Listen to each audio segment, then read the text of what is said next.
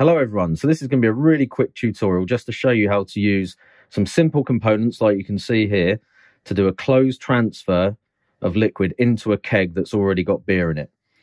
You might be wondering why you'd want to do that, so carry on and watch the video if you want to find out.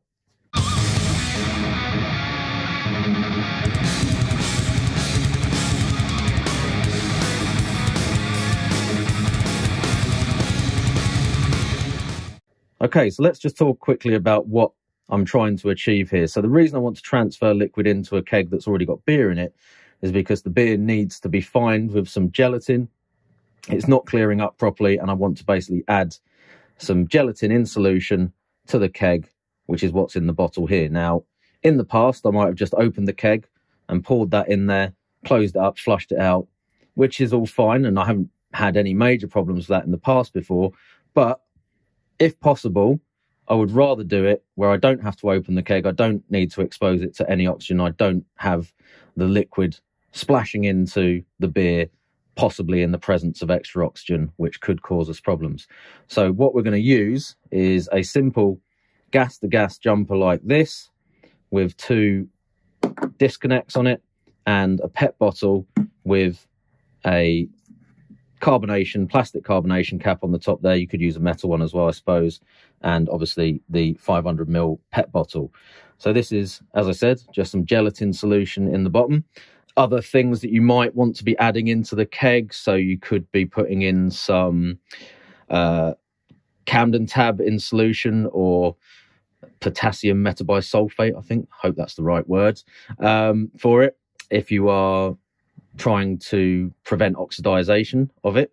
Um, if that's something that you've forgotten to do before it's gone into the keg, you could be adding like a hop tea or other kind of hop extracts or something if you want to liven it up. And like I said, um, all of that can be done if you use this kind of setup without actually opening the keg and introducing any air, which if you've gone to the effort of doing closed transfers, um, maybe fermented under pressure, flushing everything out and trying to keep uh, all oxygen out of the brewing process, or at least the packaging process, obviously this is a way to maintain that, even if you want to add something extra to the keg once you've um, got the beer into the corny.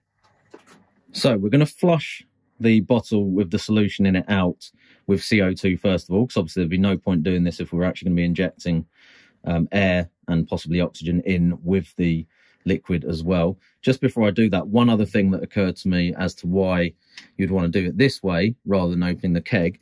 If you've got beer in there that is already carbonated and at full pressure, if we release all of the pressure off of that keg, that's going to blast probably a lot of the sediment and um, any yeast that's collected or even hop debris on the bottom of the keg up into solution, um, which means you're going to have to wait for your keg to clear back down again as well. And if you're adding stuff for the purpose of fining, like I am, obviously that's going to slow that process down even more as well. So yeah. Um, also, if it's nearly at the top, you might have issues with it foaming out the keg and so on and so forth. Anyway, so like I said, this is going to be really quick and simple. I've got a high pressure line here, which is set to about, I think 35 or 40 PSI or something like that. So I'm just going to connect that to the bottle and then flush that out. So I'm pretty confident that there is no air left in that now. What we want to make sure is that this is at a higher pressure than the keg. Now, this keg is about 15 psi.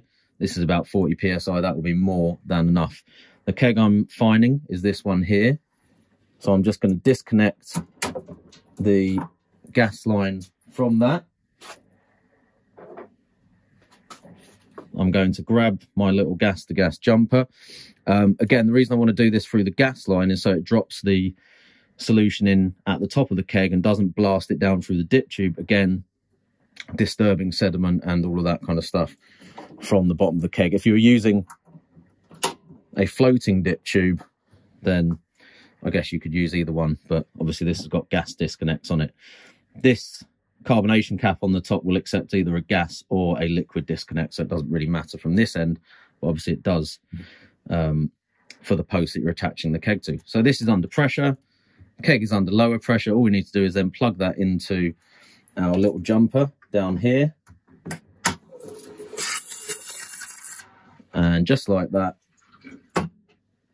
we have fired our solution. There's a little bit left in the bottom. That's because the uh, the disconnect has a sort of little bit of dip tube there, which is slightly higher than the further into the bottle than the neck. Um, so you'd obviously want to use a little bit more solution than what you're intending to add. But as you can see, that's worked pretty well. And um, yeah, hopefully I might give that keg a gentle swirl. Hopefully now that fining will help it all to drop out and be nice and bright within a few days. Let me know what you think of that, guys. Hopefully that might be helpful to some of you. Um, just to say, I didn't come up with this idea, by the way. I did see somebody else posting a picture of this on a group or a forum somewhere on Facebook. Apologies, I can't remember exactly what group or who it was that posted it, but kudos to that person. Um, I thought I'd make it into a video so that other people could benefit from that idea as well. So, yeah, no credit to me, apart from going to the effort of making the video, of course, but uh, cheers to whoever posted that up on um, on the group. Yeah, so thanks everyone. Bye-bye.